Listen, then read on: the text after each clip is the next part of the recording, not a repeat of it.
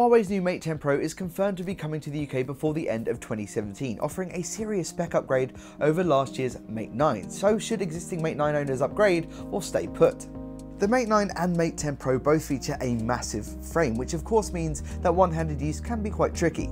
However, the Mate 10 Pro is actually no bigger than the Mate 9 despite boosting the screen size from 5.9 to 6 inches, as the screen's bezels have slimmed down somewhat. While last year's model rocked a full metal jacket, the Mate 10 Pro's aluminium frame has been coated with glass for a glossy finish. This is far more prone to fingerprints and scuffs, although so far seems pretty tough as well, and we like the updated design.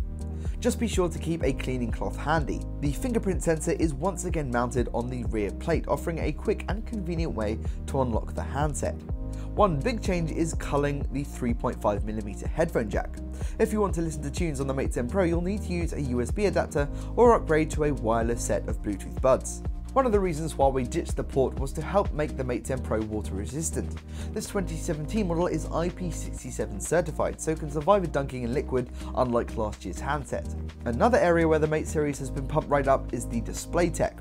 Last year's Mate 9 offered up a solid 5.9 inch IPS screen for enjoying your media on the move, although the Full HD resolution wasn't as sharp as many rivals and visuals weren't particularly punchy. Some of these issues have certainly been fixed with the Mate 10 Pro's gorgeous 6 inch OLED display.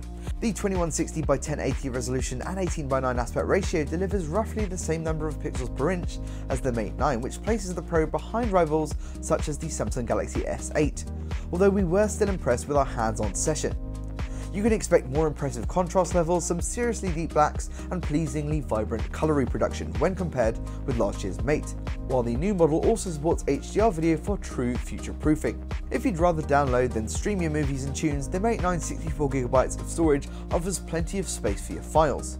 On the Mate 10 Pro you get a whopping 128GB as standard, although this time around there's no microSD card expansion, so you're stuck with what you've got. In both cases, Google's Android OS has been covered with Huawei's Emotion UI overlay to provide a significantly different user experience.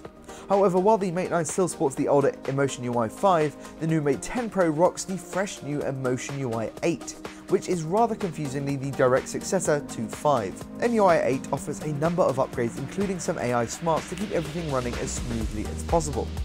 Of course, while the old Mate 9 doesn't have this version of software just yet, an update should be coming very soon to bring it bang up to date. Last year's Mate 9 still offers solid everyday performance too thanks to its dependable Kirin 960 chipset, although this has now been succeeded by the fresh Kirin 970 platform, also of Huawei's own design. The 970 will first be found in the new Mate 10 models and offers a performance boost and a 20% increase in efficiency compared with last year's Kirin 960 chipset. Likewise, the GPU is now 20% more powerful and 50% more efficient compared with the 960s. Memory has also been boosted to 6GB from 4 found on the Mate 9, so you can expect an overall improvement and more future-proofing from this year's handset. Peak download speeds have also been improved on the Pro, which offers Cat18 connectivity thanks to the capable quad antenna setup. As for battery life, you once again have a massive 4000 mAh cell packed into the Mate 10 Pro, just like last year's model. We're therefore hoping for the same 2 days of battery life per charge, stay tuned for our full review. The Mate 10 Pro also supports Huawei's supercharged tech, which means you can get a day's use from just 30 minutes or so at the plug. It's not exactly a massive shock that the Mate 10 Pro once again serves up a dual lens Leica camera, although the hardware has been tweaked for this year's handset.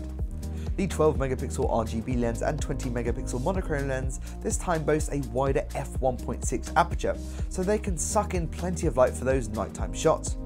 OIS is once again in place on the RGB lens to keep your shots clear, while a new 4-in-1 hybrid autofocus system combines laser depth contrast and phase detection to suit any conditions and deliver fast, sharp results no matter what. As before, you can shoot up to 4K resolution video and there's a wealth of bonus modes too, from light painting to slow motion and time-lapse video features.